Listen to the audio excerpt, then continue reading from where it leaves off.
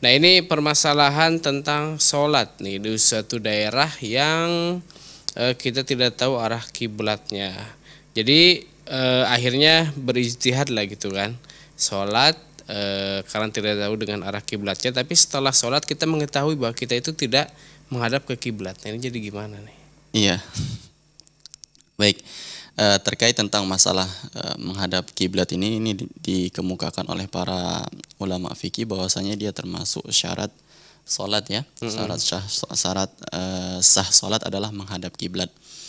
Uh, di antara dalil yang mewajibkan kita untuk salat menghadap kiblat itu adalah wa min haitsu kharajta fawalli wajhaka syatral masjidil haram wa haitsu ma kuntum fawallu wujuhakum syatrah dan uh, ke mana pun kamu keluar pergi hmm. maka arahkanlah uh, apa arahmu itu wajahmu itu ke Masjidil Haram, yakni kiblatmu itu ke Masjidil Haram atau di mana pun kamu berada maka arahkanlah kepadanya, hmm. ya tetap menghadap Masjidil Haram.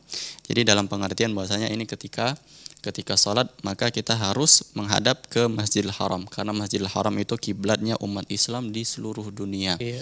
Ya ini yang menjadi salah satu uh, perintah wajibnya kita harus menghadap kiblat ketika sholat.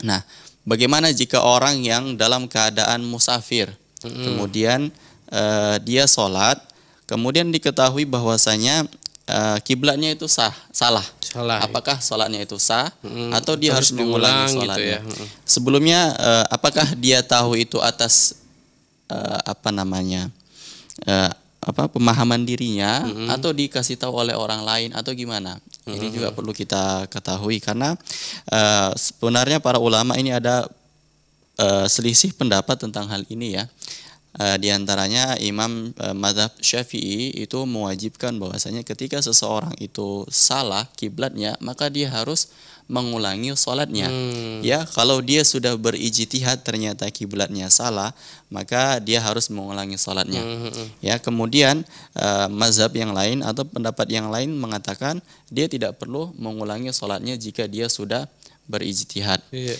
Nah, apalagi dalam kondisi orang itu bersafar, musafir ya. E, beda dengan orang yang mukim. Orang yang mukim harusnya dia nggak perlu salah lagi dalam Betul. dalam e, penentuan tahu, ya. arah kiblat. Memang harus udah tahu.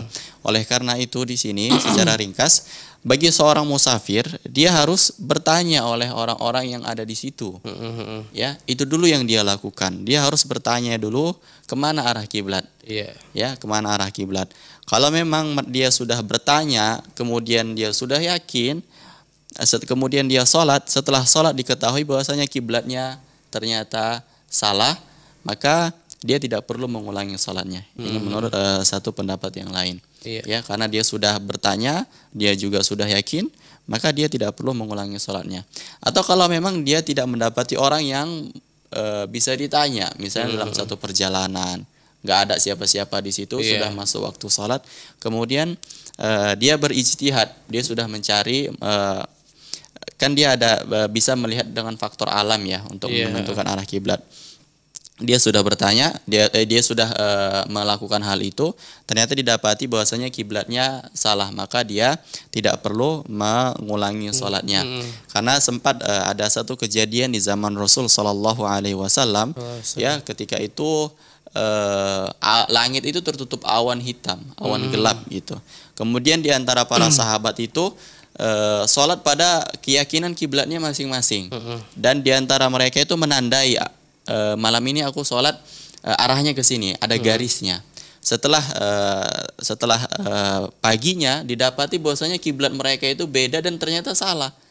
Dan itu dilaporkan kepada Rasul Shallallahu Alaihi Wasallam dan Rasul Shallallahu Alaihi Wasallam tidak meminta mereka untuk mengulangi hmm. sholatnya. Dalilnya itu di surat Al-Baqarah uh, dikatakan ke mana pun kamu menghadap maka uh, fasama wajhullah maka di situ juga kamu akan apa namanya menghadap satu kiblat. Iya. Demikian Allah alam.